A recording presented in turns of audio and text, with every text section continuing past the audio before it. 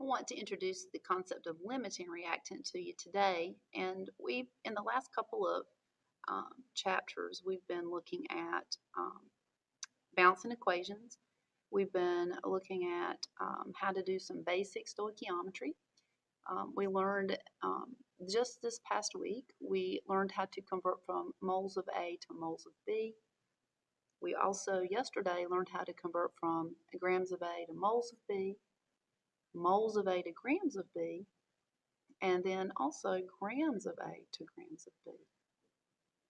So we've learned all the foundational type calculations. We've laid the groundwork.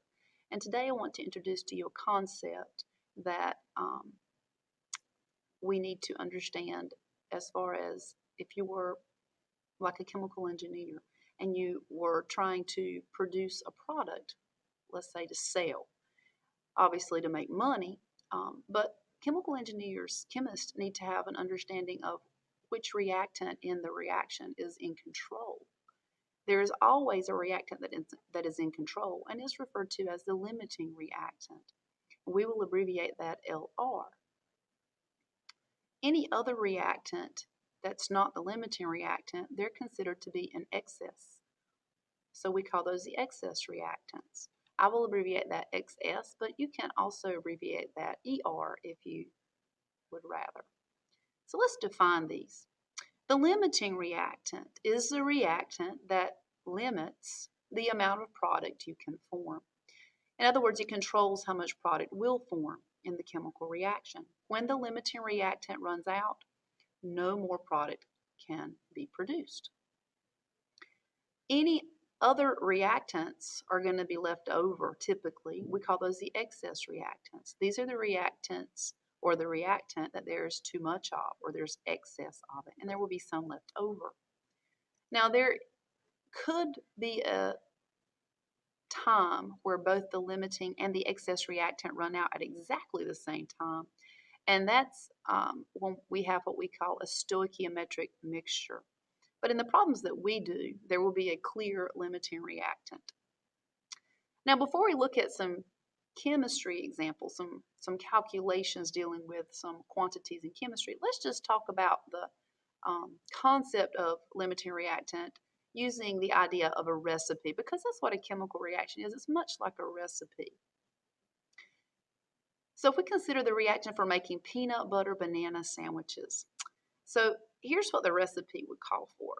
To make one sandwich, we would need two tablespoons of peanut butter, four slices of raisin bread, and one banana. Those are the ingredients needed to make one sandwich. This will be sort of like a synthesis reaction, so we can write that so that it looks more like a chemical reaction. And this is sort of what it would look like.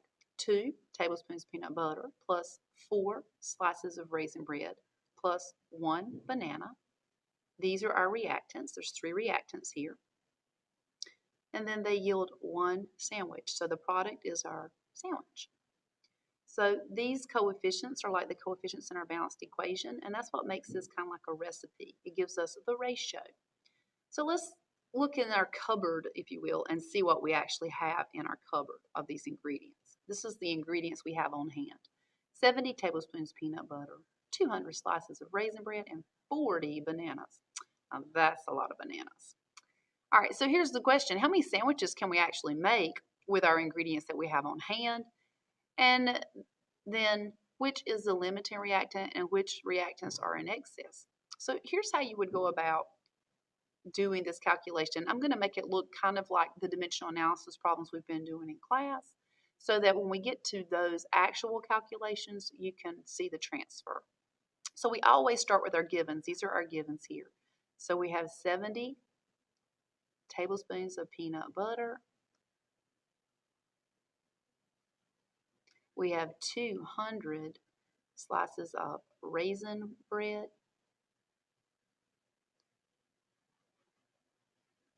And we have 40 bananas.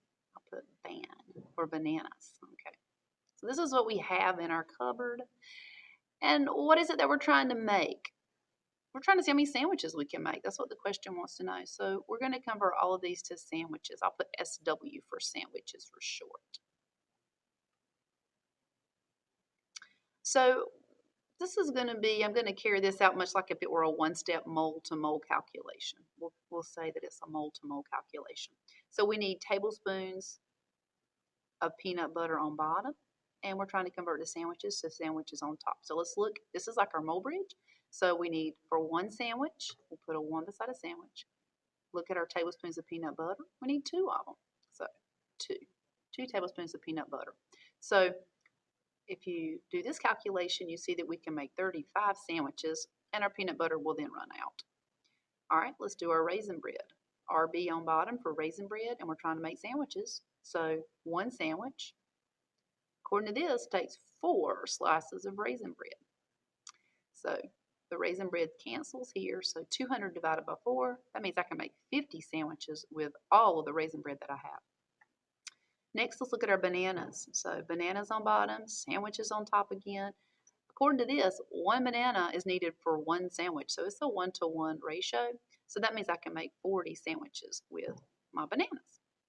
All right, so the question says, which is our limiting reactant? Well, hopefully you can tell from what we have here that the thing that's going to run out first is going to be the peanut butter because I can only make 35 sandwiches. And once I've made 35 sandwiches, my peanut butter is no longer, I don't have any more. So that means that the peanut butter limits us. It determines how many sandwiches I can actually make.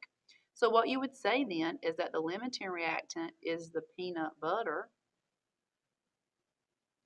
And if I were to ask you who the excess reactants were, there are two of them here, the raisin bread and the banana. So RB for raisin bread and I'll put B-A-N for bananas. Okay. All right, so that's kind of the concept. So let's talk through what we actually just did. So to determine your limiting reactant, the first thing we're going to need to do, and if you get stuck on your homework problems and you need to look back, this is where I would go to. This gives you the step-by-step -step breakdown. Convert each reactant to moles, we're going to go to moles, of the same product. Now, in the event that you have more than one product, we're going to always go to the first product that was written down. That way, everybody's answers are the same. So go to moles of the first product. Once you've converted to moles of the first product, the reactant that produces the least amount, think back to what we just did, the one that made 35 sandwiches, that was the least amount. The least number of moles, that one is your limiting reactant. It controls how much possible product you can make. That's the maximum amount possible to form. All other reactants are in excess and therefore they're called the excess reactants. So let's take a look at this example here. Um, this tells us we have a chemical equation, you want to balance it. So we're going to balance it with a 1, 4, 1, 2. That'll balance this reaction. And it says you have 2 grams of HF and 4.5 grams of SiO2, you want to know which is a limiting reactant. So start with your givens. 2.0 grams of HF. And this reaction has actually two products. So we're going to always go to the first product that's mentioned. So here we're going to go to moles of SiF4. And we're going to start with our 4.5 moles, I'm sorry, grams of SiO2. And we're going to convert that to moles of SiF4. We always go to moles of the first product that's written if there's more than one product. Now, gram to mole is a two-step conversion. This is a point where you decide how many steps it is. Pause the video here and then start on the next video and pick up with the next video with checking your answer and then we'll look at a couple more examples. This will be the end for this video.